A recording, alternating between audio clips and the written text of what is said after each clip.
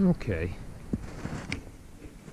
So let's talk about load development. How, now that you've got this awesome percussion, inline, flintlock, wheel lock, match lock, whichever one you actually went for. Now that you got it, how do I know what to shoot out of it? As with any warning label, the manufacturer does give you a booklet. If it's brand new, you'll have that. If it's used, write to the manufacturer um, or use uh, Google or DuckDuckGo if you're not a Google fan, um, or Bing because it's not Google.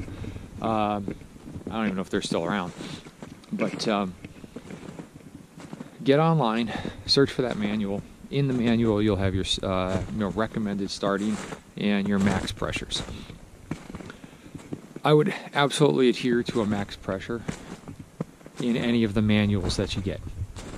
The reason being, the manufacturer decided that that's a safety cutoff for you. That's probably in the event that, like, let's just say you accidentally double charged a 90 grain load. Um, you know, so you put two 90 grain loads in there.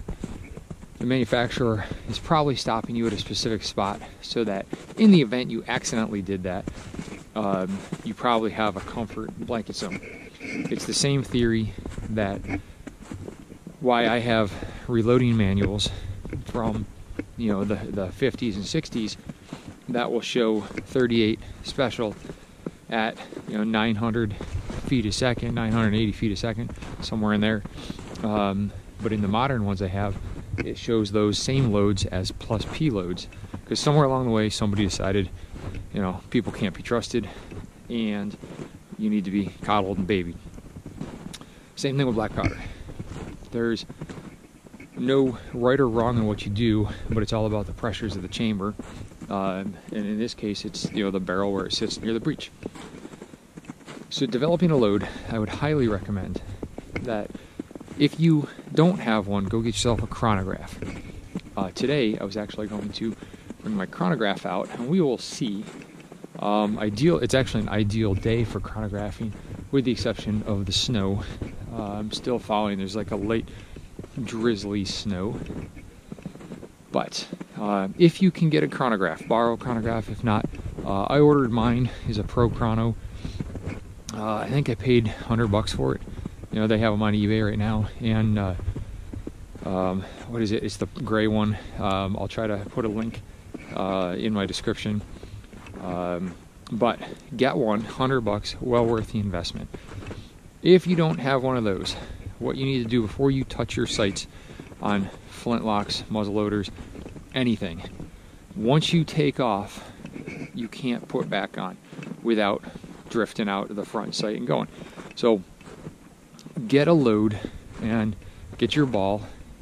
If it's a, uh, let's just say it's a, a 50 cal, we'll keep it simple. You've got a 490 option, .490, and you've got a .495 option. And those options, let me see.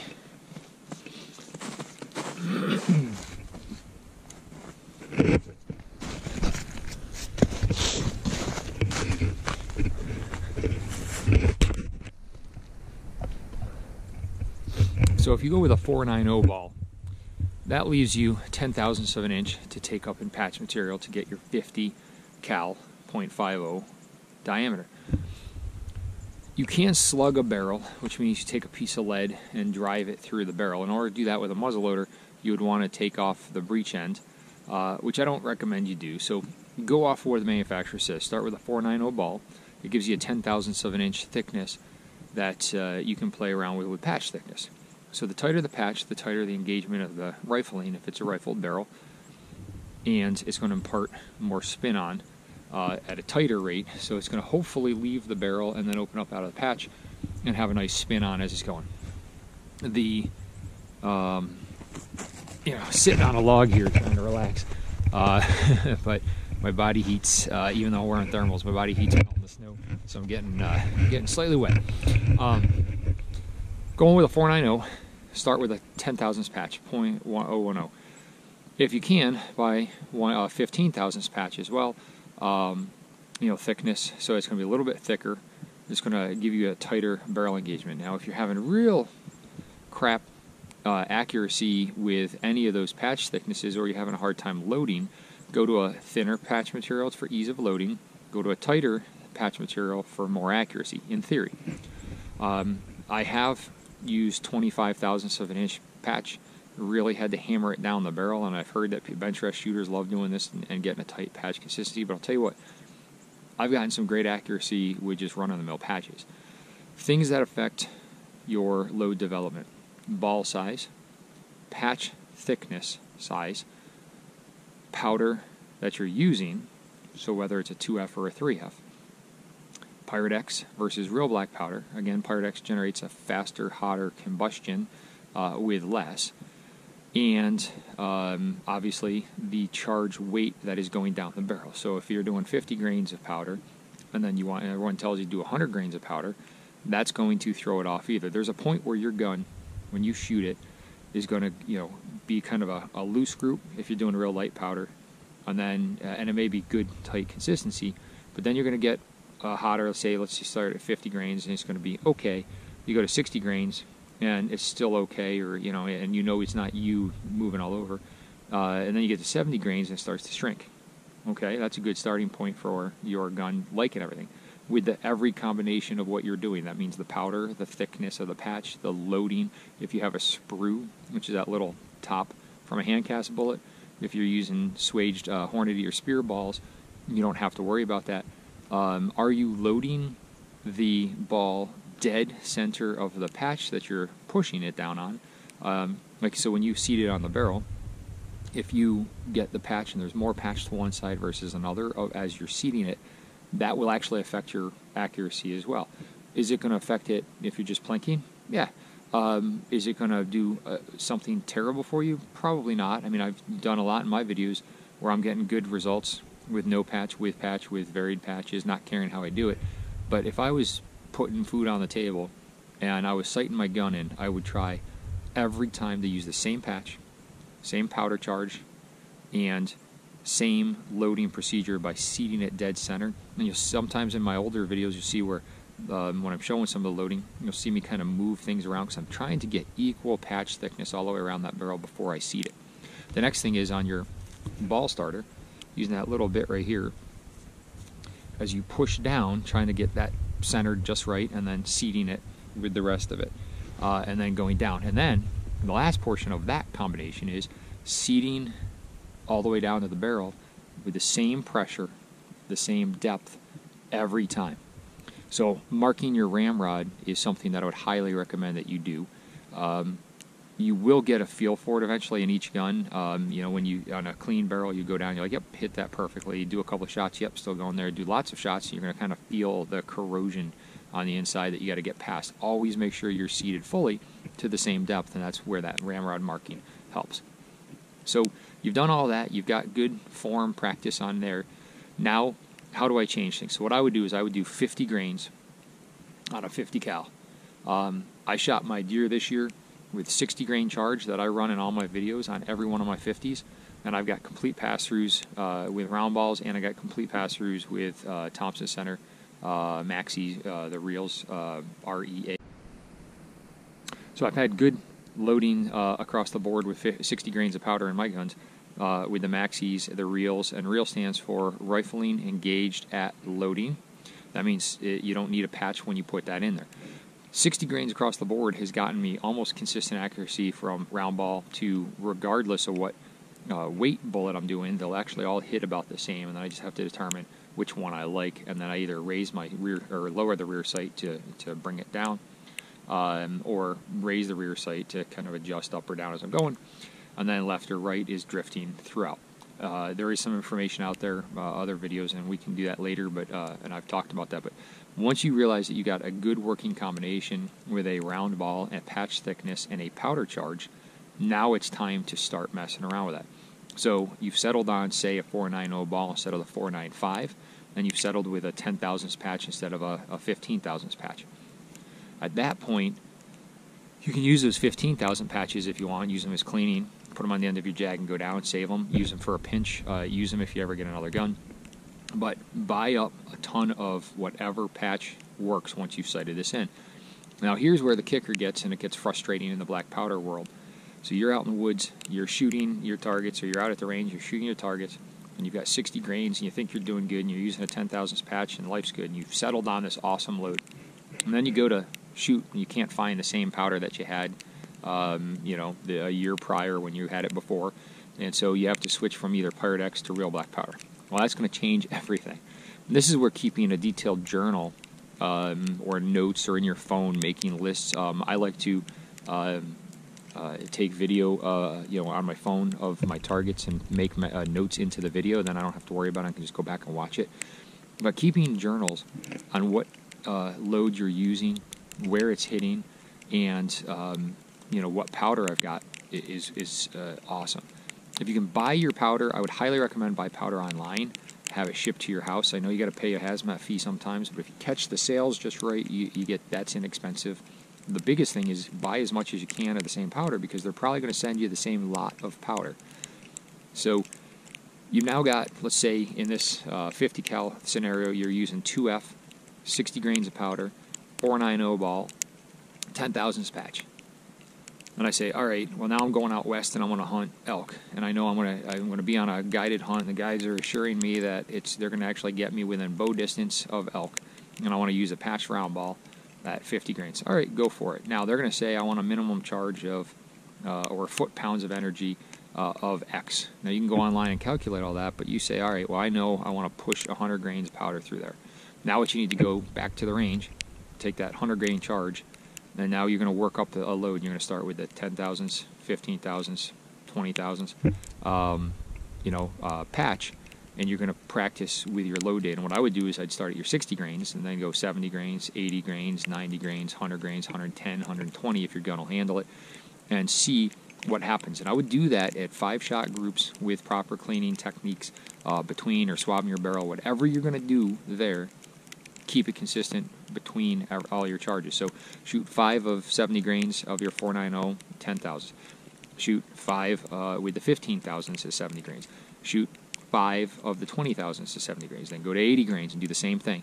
Eventually, you're going to find that your groups are going to get smaller and then they're going to get bigger. And if you're keeping your cleaning, loading technique all the same, you're going to know that your methodology is working. So find a lighter hunting load. So here in the Northeast, uh, deer being a thin, late-gamed animal, I mean, you can put them down with a 22 with proper shot placement. Um, you can put them down with a massive gun, and I've had complete pass-throughs.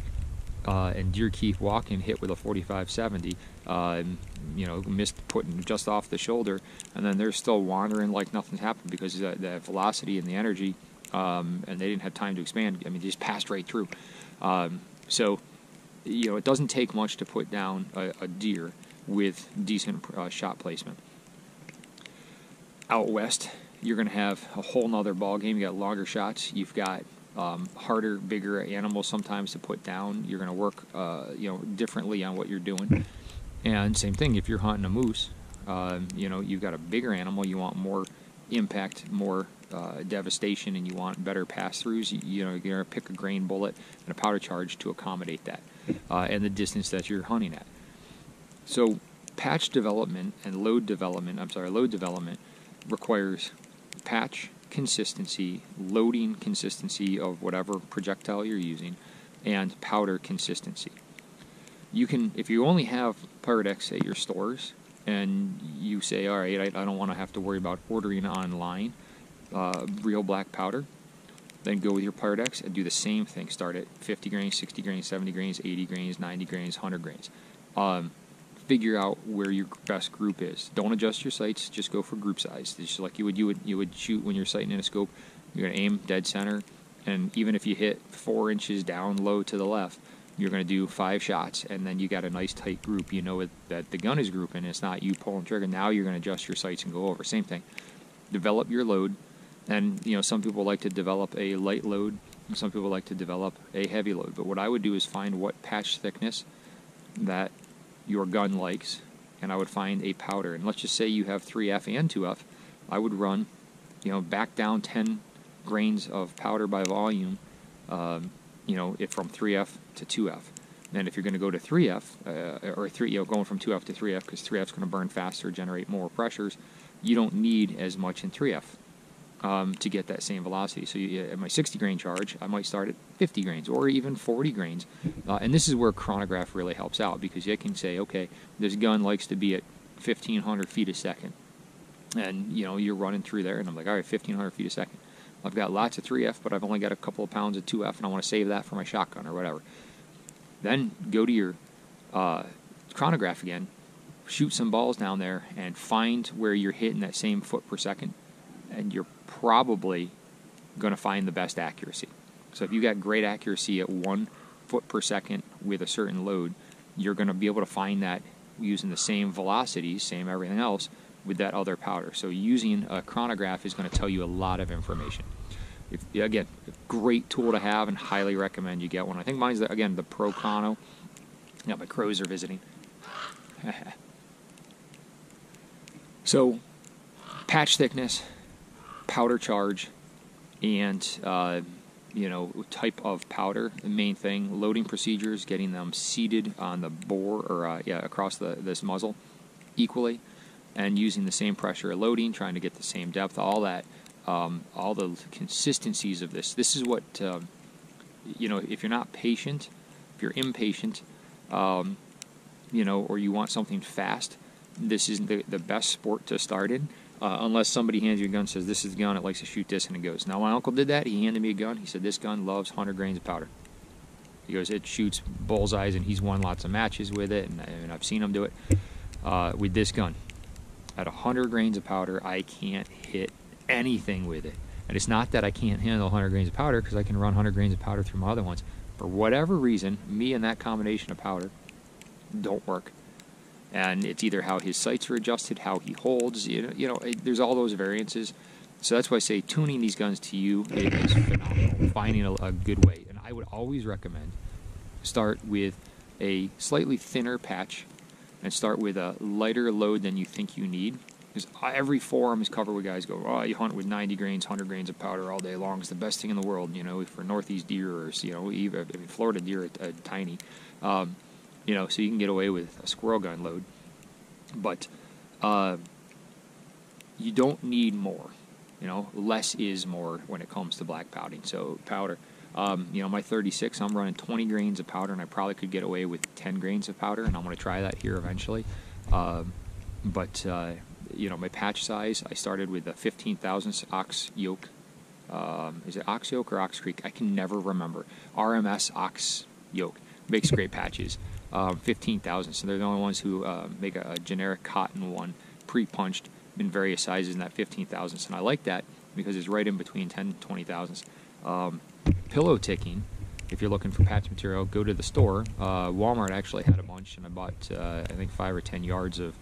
Um, uh, no, yeah, five or 10 yards, uh, at least 15 yards maybe, of uh, pillow ticking. The problem is this pillow ticking is 21 thousandths of an inch thick.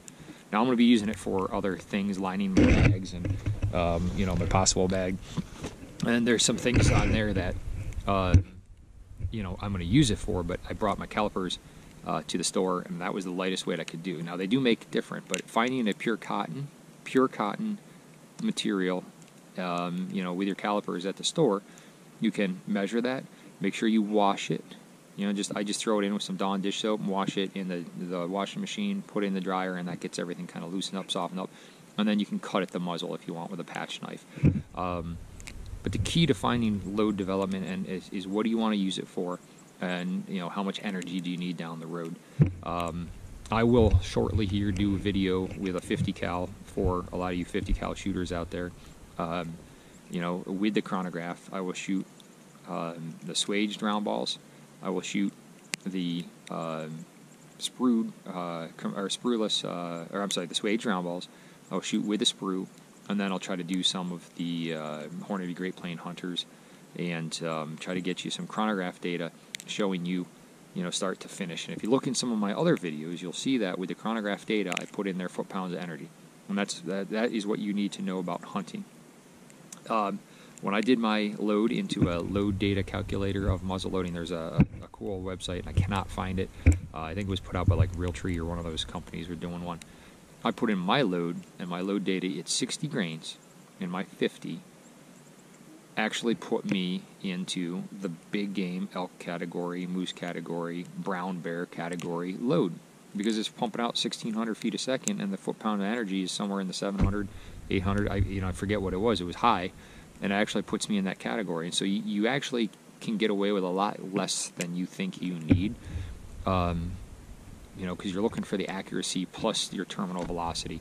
Um, so hope that helps a little bit in determining your patch thickness. Um, you know there's a lot of uh, personal preference when it comes to everything. Everybody will tell you this is what you need to do, this is what you need to do.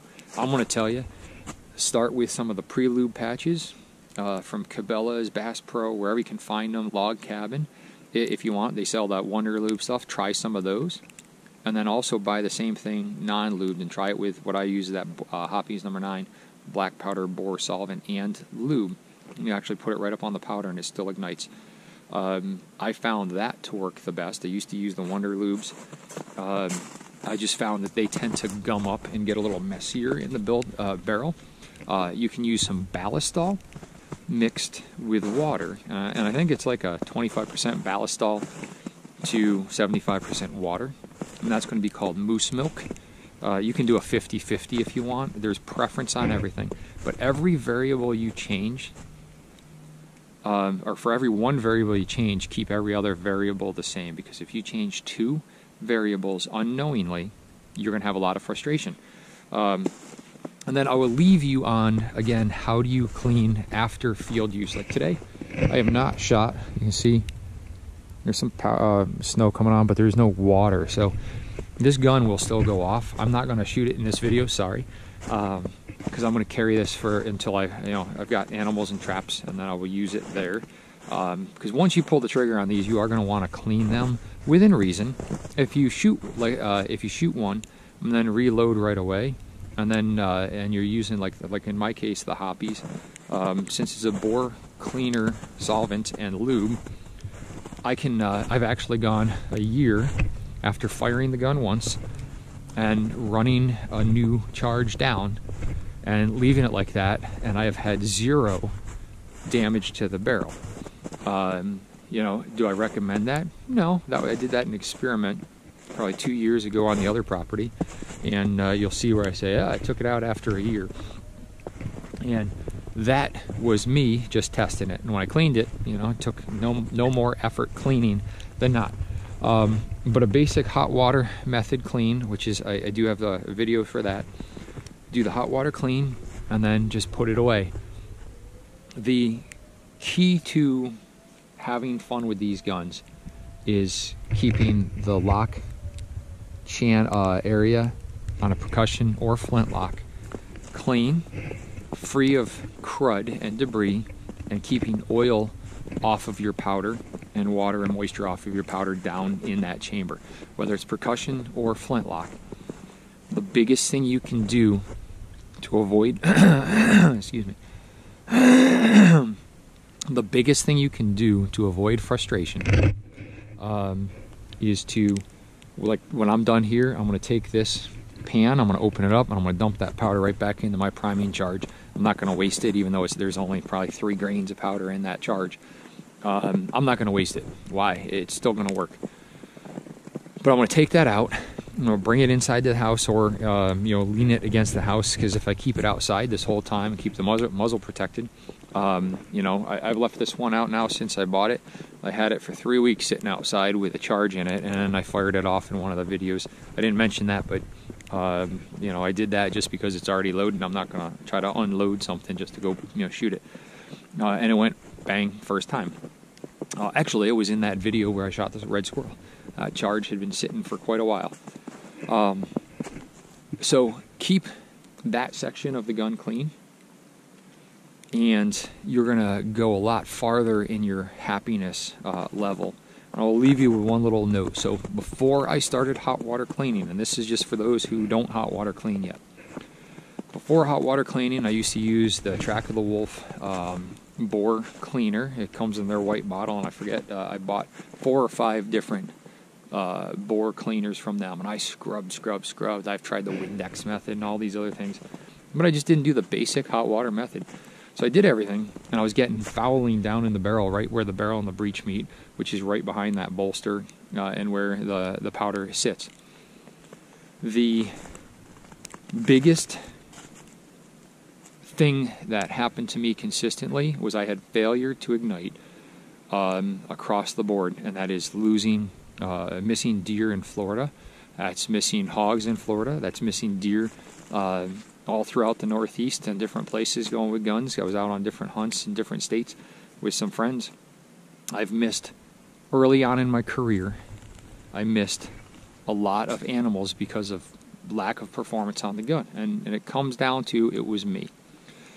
So if you have a brand new gun, um, clean the barrel. Uh, you can also take a piece of steel wool and wrap it onto a cleaning uh, brush and polish up uh, everything. Or, uh, you know, what I do is instead of that, I just shoot the crap out of it, and that'll actually just kind of get you where you need to be. But when it comes down to it, making sure that you clean, and I would highly recommend do hot water method. There's lots of people's videos. I'll do another one here. Um, when I when I get this one uh, dirty, I will actually uh, clean it, and we'll go through that process. But um, I had uh, shot a deer probably three years ago with uh, um, a black powder, uh, 50 cal, and it finally worked, and it was a, a miracle it even went off. Ne- and I reloaded. The next morning, I had where the gut pile was. I was walking out. There was a beautiful coyote beautiful. 25 yards in front of me, never even saw me. I raise the gun up, pull the trigger, cap goes off. this is a percussion. Cap goes off, and Coyote freaks out, takes off running because the cap went off, and I threw the gun. I mean, I threw it. And uh, kind of like golfers do when they suck at uh, golf, and uh, you're out there. Well, that was me. I was out uh, and I sucked at percussion and I sucked at flintlock because I just wasn't cleaning it with hot water method. As soon as I switched over that, my uncle told me, he goes, "You're wasting your time." He goes, "You'll be done in five minutes or less." Here we go. As soon as he's done that, I have never questioned my shots going off uh, until I got the sitting fox.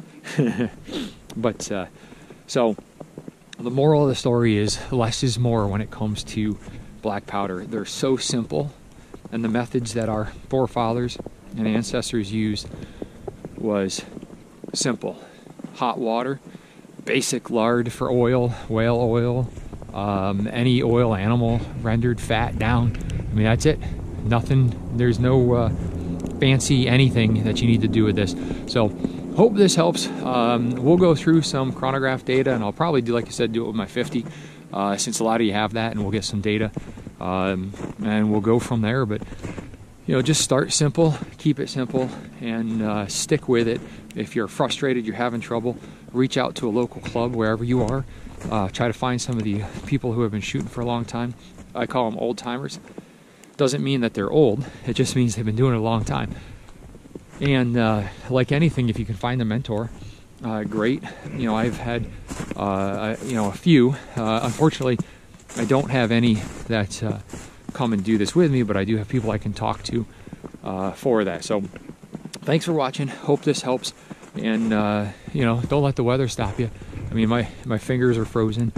Uh, rest of me is pretty good, but uh, you know, try to get out.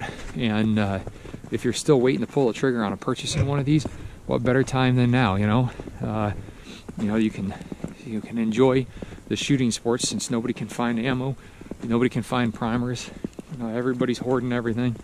Um, you know, I would highly recommend now is the time to get into here because uh, you know it's a great way to maintain shooting, and it's a, a, a wonderful way to increase follow through and teaching you back to the fundamentals um, that uh, I know. You know, I've been shooting since I was probably 14, and I'm 40 now. So, you know, I think that's like at least five years maybe, maybe a little more. I can't do math. Um, but, uh, you know, I know as I get scopes and I get the, the benefit of, uh, you know, precision optics, Um, you know, going back to basic iron sights, just like you know bare bones archery that I do. Um, you know, it helps me focus, and uh, you know, you'll find you become a better shooter with these guns, uh, or you'll just get really frustrated and you know smash it against a tree, uh, you know, or toss it uh, like I did, and uh, and then eventually uh, you know come back to it and figure it out. But hope these pointers are helping you, and you guys stay safe, and you know we'll see you next time.